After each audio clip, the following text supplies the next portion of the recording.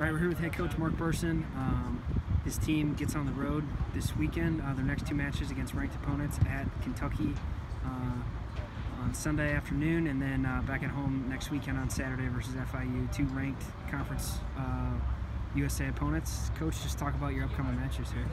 Yeah, I mean this is the the meat of our schedule, right? We've had two conference games. Now we we, we have two big games coming up, so you know really important for us uh, in conference play and uh, two really good teams, both nationally ranked.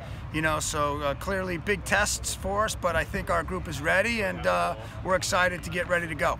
Young team this year, coach. We've touched on that a bunch. Um, you guys have had some tough, tough matches against some really, really good opponents. Really tough non-conference schedule this year. Um, talk about the, the mental toughness your guys have exhibited so far throughout the season. Well, I think you know that's probably the number one quality you'd like to have in a team. Uh, you know, we've we've scored goals against some of the best teams in the country. Matter of fact, we scored multiple goals against some of the best teams in the country. So, uh, you know, we need to obviously uh, limit some goals. We've got to, uh, you know, tighten up on the defensive side a little bit. And we need to make sure that we, uh, you know, are really ready to play each time we go out. And I think this group has done a good job of that this year. I think they've grown with each challenge. And, you know, these are big games coming up, so we're going to need to be at our best. Okay, home stretch here. Uh, I believe six games left in the season. What are you telling your guys going forward down the stretch here?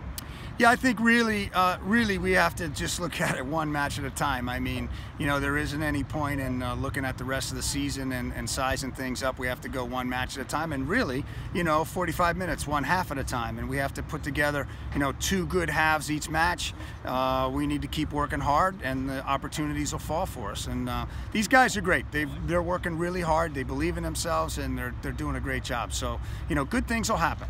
Okay, thanks, Coach. Uh, safe travels to Lexington and best of luck on Sunday. Yeah, thanks.